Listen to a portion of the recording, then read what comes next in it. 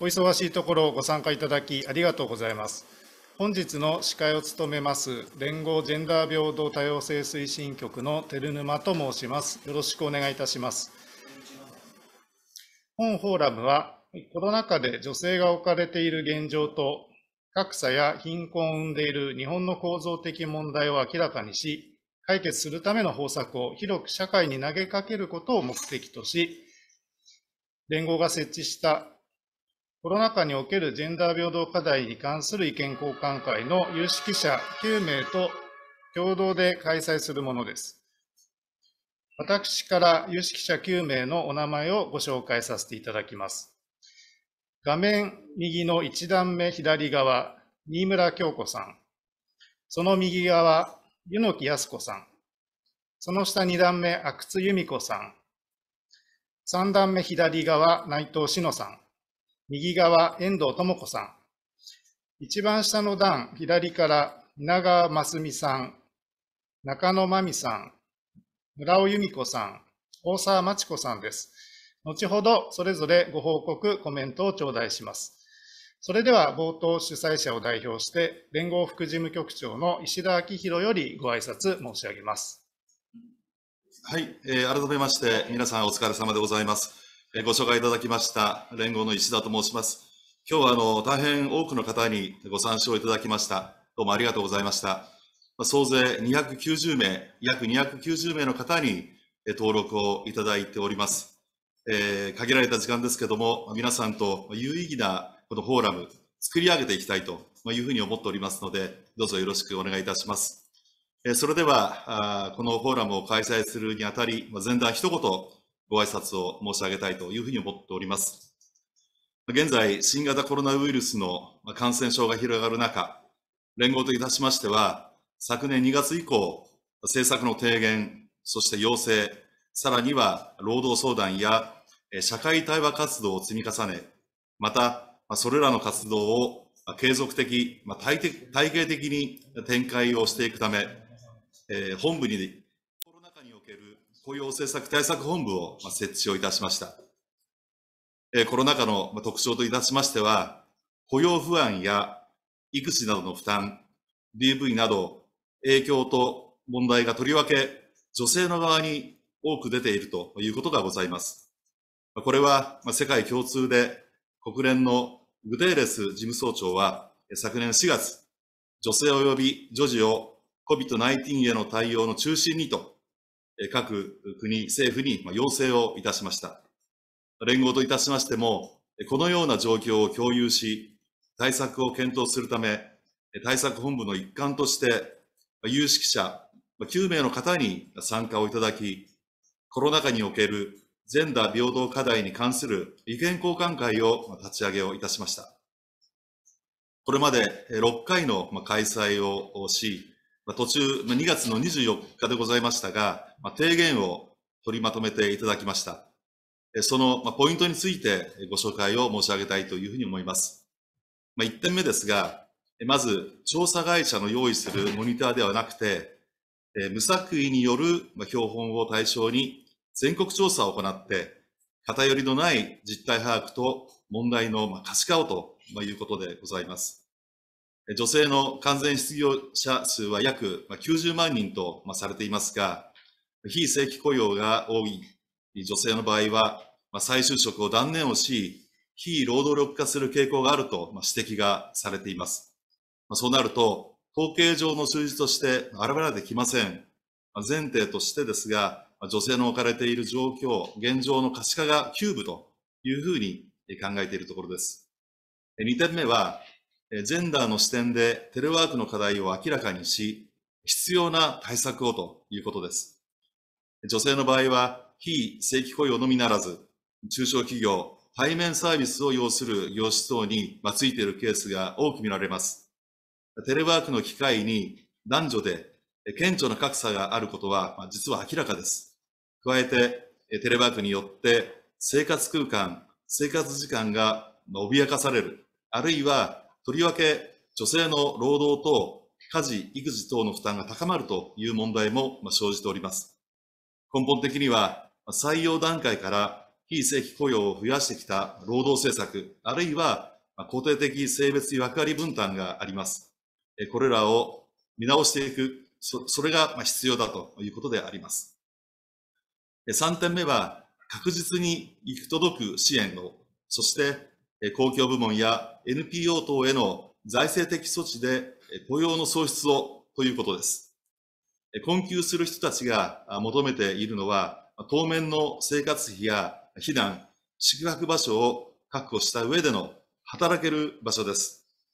コロナ関連の事業だけでも国から民間委託されているものはたくさんあります。人手が足りない職場も多いはずです。また、人材不足は直接的な支援を行う NPO など民間団体もこれ同様の課題があります。財政的措置を行い、雇用を失った人たちが自ら支援をする側として訓練を受けながら働ける働けるようになれば、雇用の回復につながっていくというふうに思います。このような形で国として雇用政策に努めるべきだということになります。以上3点がポイントです。まあ、意見交換会に参画いただいている中央大学の、えー、皆川淳教授がある会合で女性たちの困難が突然発生したのではなく、コロナが不平等を深めた、構造そのものを変えないと解決はないと、こういうふうにおっしゃっておられました。もちろん、すべての人たちが影響を受けているわけですが、特定の属性に偏って大きく出ているということは、必ず構造的な原因があるということです。そこに切り込めるかどうかが、で、次の社会が変わっていくんだというふうに思います。本日のフォーラムがそれを考え、そして次なる行動を起こすための一つの契機になればと考えています。限られた時間ではございますが、皆様の積極的なご参加をお願い申し上げまして、冒頭のご挨拶に返させていただきます。本日はどうぞよろしくお願いいたします。ありがとうございました。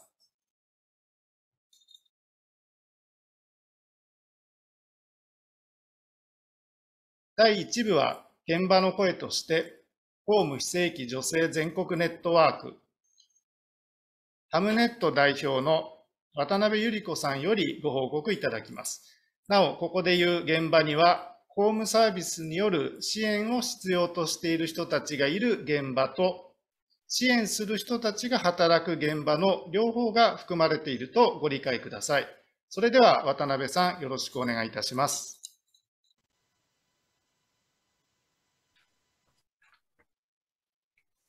はい、ご紹介いただきました渡辺百合子でございます、えー、本日は発表の機会を与えていただきありがとうございました。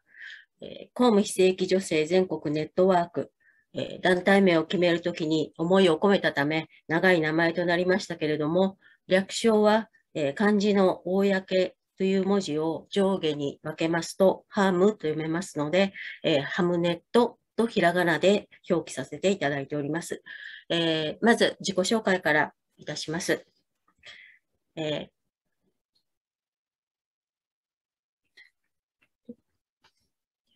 はい。ここにありますように、えー、33年の区役所勤務の後、NPO 法人に移り、図書館の委託労働者として11年間働いております。えきっかけは、2000年に自治労に加盟する図書館非常勤職員が中心となって、立ち上げました交流組織からです。で私自身も住宅館が半分になった2013年には、えー、職員の人員整理、首切りを行う立場となりました。えー、参考に出しました給与月額は、これからお話しする内容にもつながりますが、えー、非正規の月額は、えー、当時約2分の1でしたけれども、現在はもっと悪くなっていると思います。次に参ります。えっ、と、ハムネットは、え、今年の3月20日、開催しました集会からスタートしました。水平社宣言から集会メッセージを思いついたと、全国に散在する完成ワーキングパーの女性たちを団結せよという、えー、那覇の中村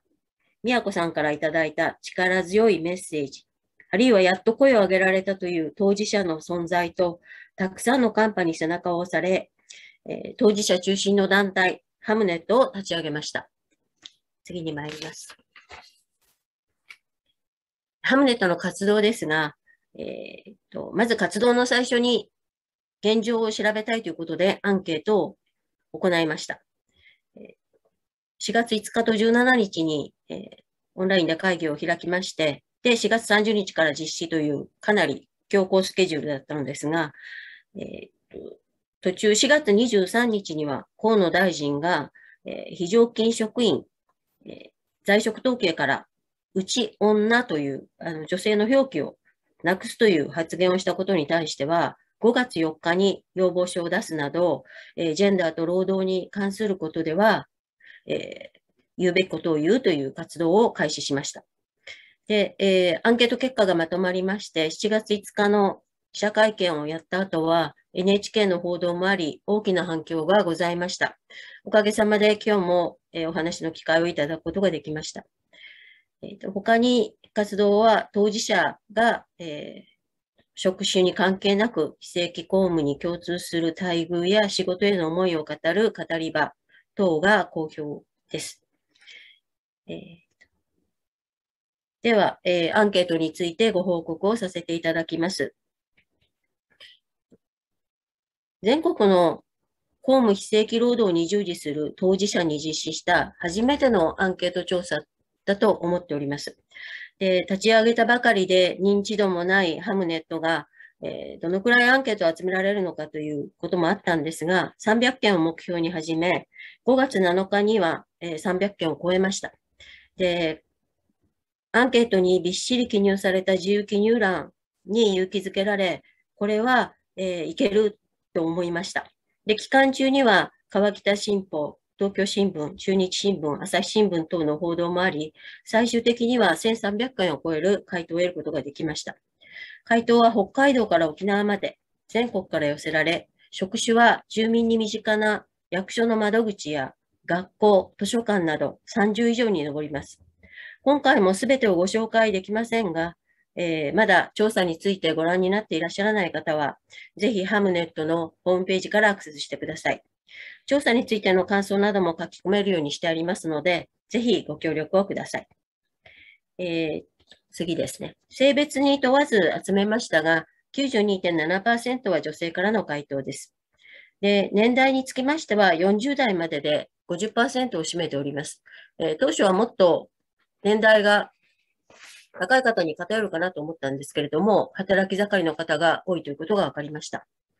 で、地方自治体に雇われている方が81.7%、国が6.9%、えー、委託などで民間で公務現場で働く方が10.3%という比率で、えー、次ですね、雇用期間については、1年間が86.5%、でそれ以下も7.3%ですから、不安定な立場で働いていることがわかると思います。であの発表後大きく問題になった年収なんですけれども、200万円以下が52.9%、250万円以下になりますと76.6%を占める比率になっております。で、えっと、ここからはアンケートの一次集計では報告できなかった、会計年度任用職員について、私どものメンバーの池橋が、え生活経済政策9月号に発表しておりますので、え詳しくはそちらをご覧いただきたいのですが、一部をご紹介したいと思います。会計年度任用職員についてご存じない方はあのいらっしゃるかと思うんですけれども、2020年4月1日に、えー、とできた制度で、任用根拠の明確化と、えー、処遇改善が目標として作られました。ただしですね、えっ、と、総務省の調べで、えっ、と、会計年度任用職員、今までいろんな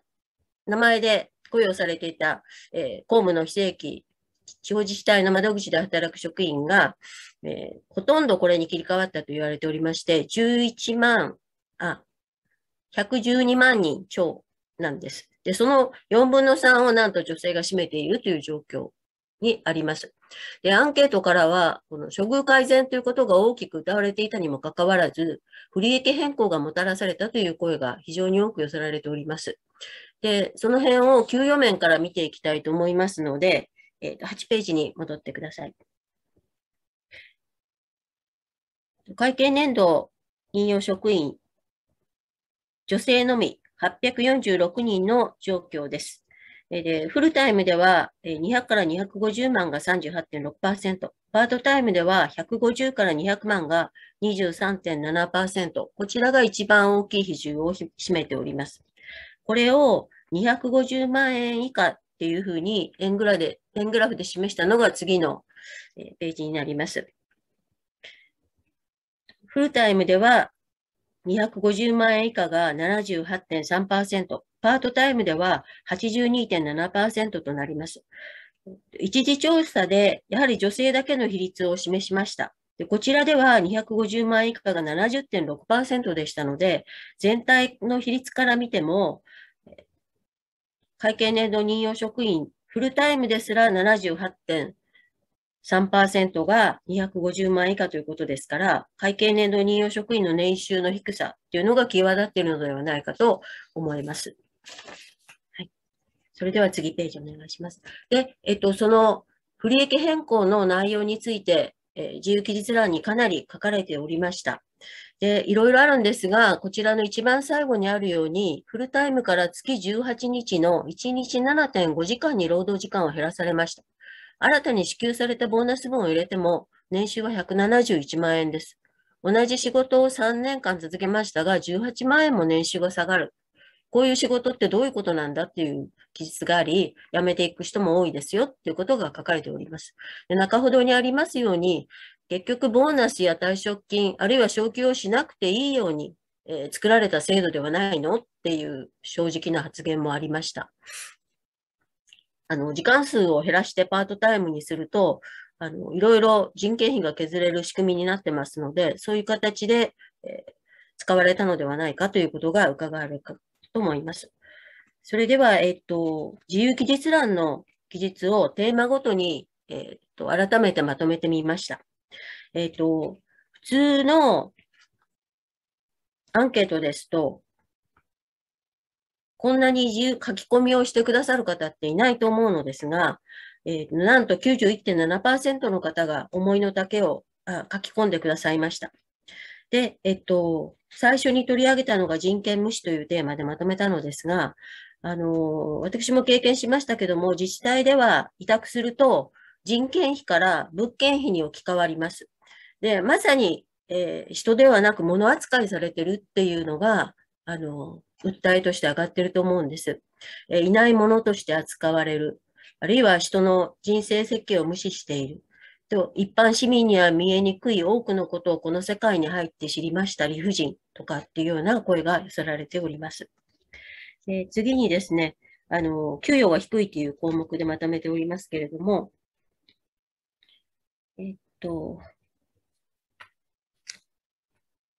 仕事内容は同じかそれ以上なのでやるせない。これまさにあの、この通り、同一賃、同一労働同一賃金っていうことからは程遠い実情であるということを表していると思います。それから逆にですね、アンケートでは主たる整形者ではないと答えた女性の52.7%が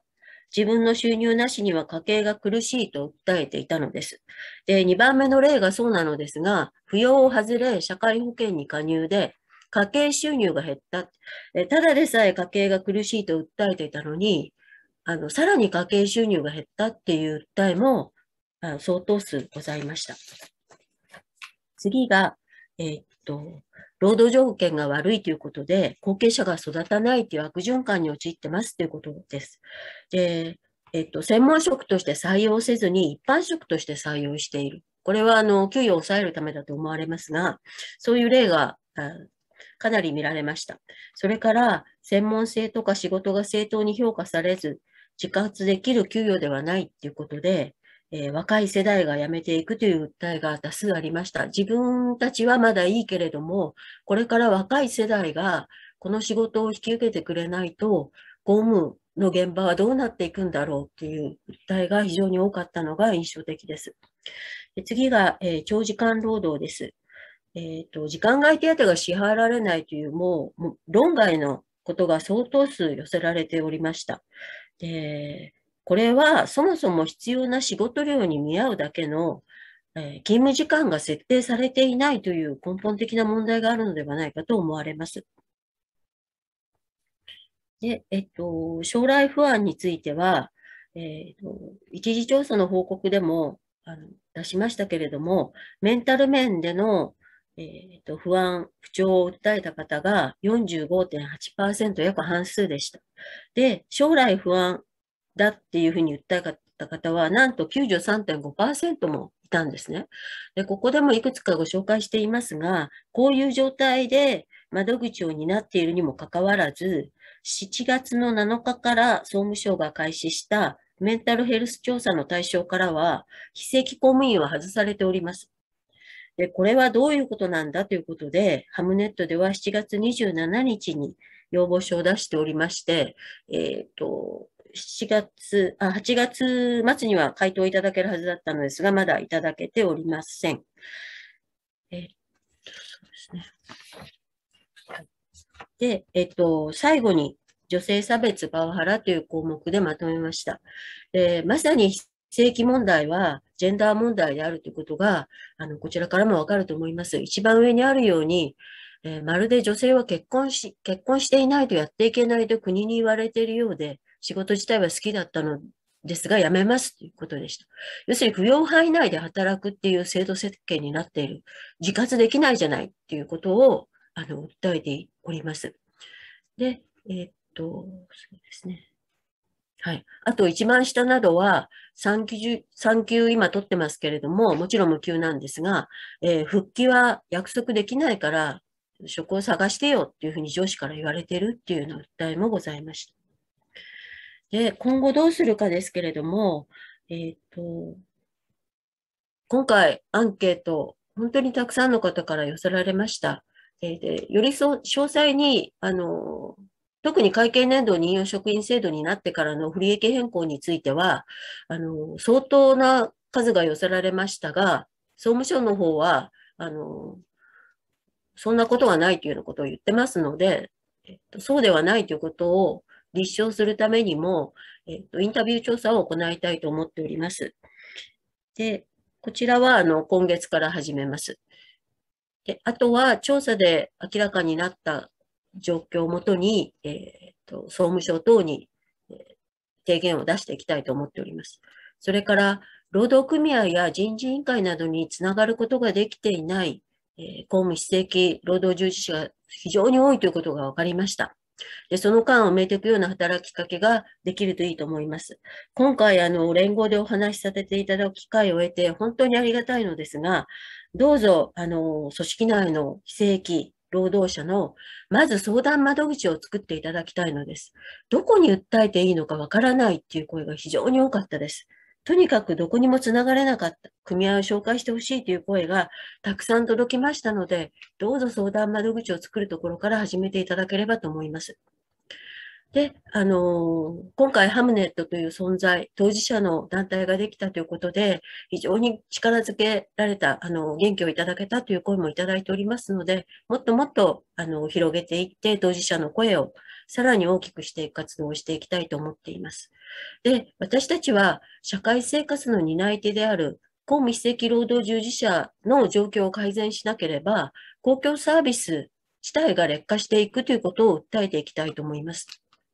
これは今まで女性たちが本当に善意で、頑張りで支えてきた、この安上がりな公共を何とかしないといけないっていうこと。そうしなければ次の世代の担い手がいなくなりますよ。公共サービスの担い手がいなくなるんだよっていうことを住民の方々にもあの訴えていきたいと思っております。え最後に、えーと、ご紹介したのは、え私自身があの NPO でえーと、年々受託額が下がる中でもうこれではあの労働条件が確保できないということで撤退を決めたのですが、その経過等を書いたものが、えー、上の2つです。それから、えっ、と、皆さんご存知かと思いますが、ハムネット立ち上げのきっかけともなった岩波ブックレットをご紹介しております。で、えっと、今回参加していただいた方、あの、もしハムネットの活動に賛同いただけるなら、えっ、と、ハムネットのホームページからカンパのお願いもしております。どうぞご協力をお願いいたします。ご清聴ありがとうございました。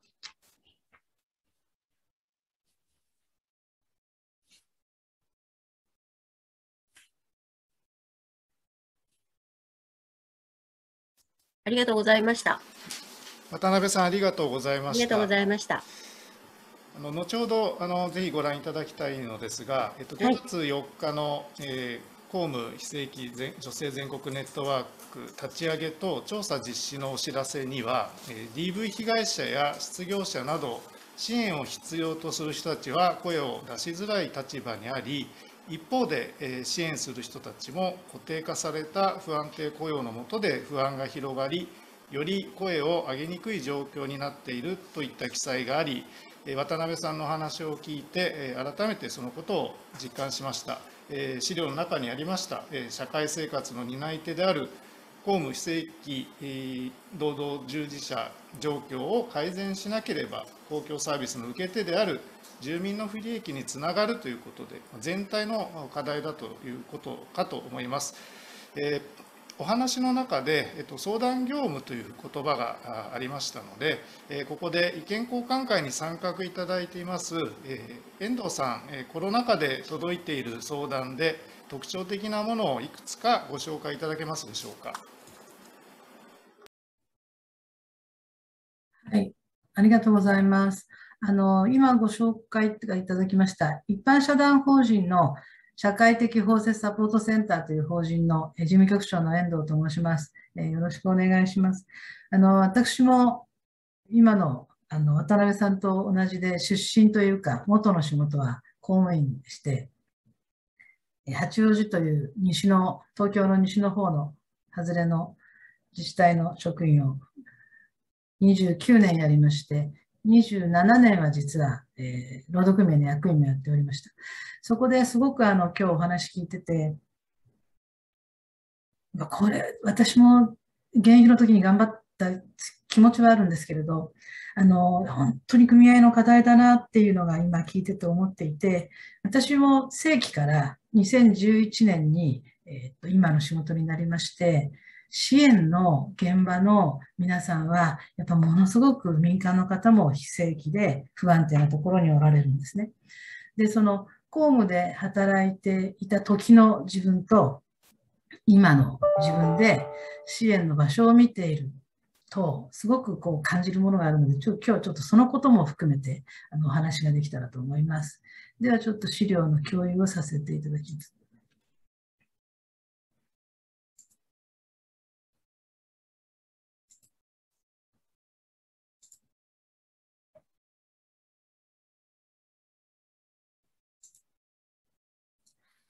えっと、一番初めに、今、私の法人がやっている事業を、大きなものを3つ挙げておきました。1つは、寄り添いホットラインっていうあの電話相談で、年中無休で2011年から、えー、やっているものです。それで真ん中に DV 相談プラスと書いてありまして、内閣府の事業の DV の、えっと24時間の電話とメールとチャットの相談をやっています。それからもう一つは、キュアタイムといいまして、これも内閣府事業ですが、性暴力に特化をしたあの SNS の相談の事業です。あの、コロナの中で、どんな相談なのかって言われると、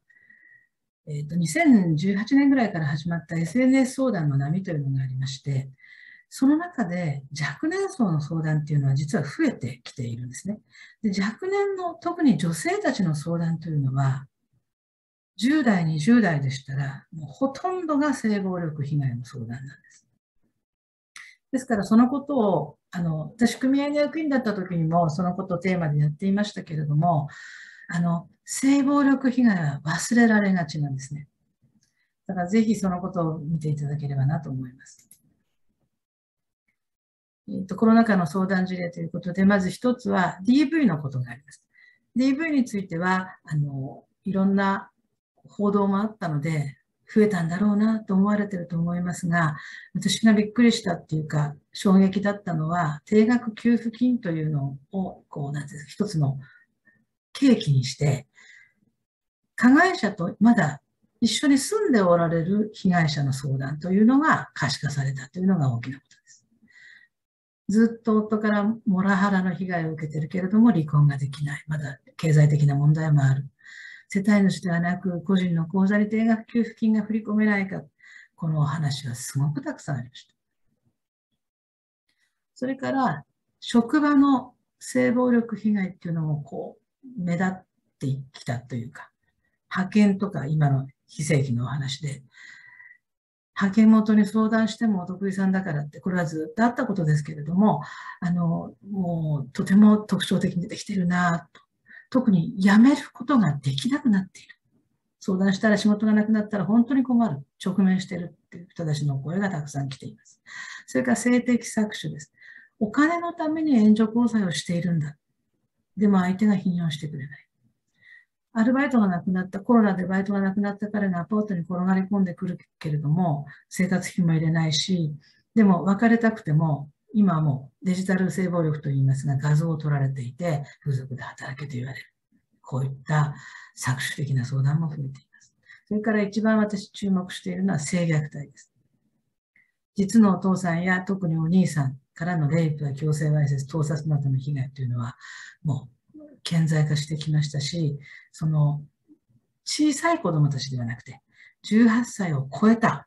成人をした家族の中、家族の中の女性に対する、えー、近親者からの暴力というのが出てきています。で、こういうことが抜けちゃうんです。見えなくなっているというふうに思います。取り上げてもらえないんですね。そこでその官民の違いっていうのはちょっと気になってるって申し上げましたけれども、ああいう相談が増えてくる中で、複雑で言葉にしにくくて、相談支援をする側がさほど慣れていないような相談については、公平で公正な行政サービスだけではもう救えないと私は思っていて、その、さっきの話はちょっとかすれ違うところもあると思うんですが、個々人に寄り添った支援のスキームというものを持っていく必要があるのではないかなと思います。あの、公務ですごくいいところは公平で公正だっていうところですけど、その基準に沿ったり、支援決定をしたりするっていうことをしていると、一人一人の細かな悩みに寄り添うことが難しいんですね。だから、もっと、なんつうかな、うんと、きめ細かくて柔軟なものが求められていると思っています。で今後ですけれども、私は当事者の人が一番ニーズを知っている、特に暴力被害についてはそうなので、意思決定のところに、支援の決定のところに参画をさせたい。それから、共に歩く支援者が必要ですから、個人に焦点を当てた支援をしてもらいたい。それから、民間の支援団体が支援が決定ができるようにならないかな。で、その時には公務の側が会計と報告を補佐するという形の助成必要だと思いますけれどもね。その、今、社会がコロナで変わり、さらに困窮や格差や暴力源が鋭く、鋭く顕在化しています。その中では、まあ、もう少し、なんていうのかな、ユニークな、なんつうの、柔らかい、優しい形の支援にしていく必要があると思うので、ぜひ、あの、労働組合の中でもそのことを考えてもらいたいと思ってお話をしました。ありがとうございました。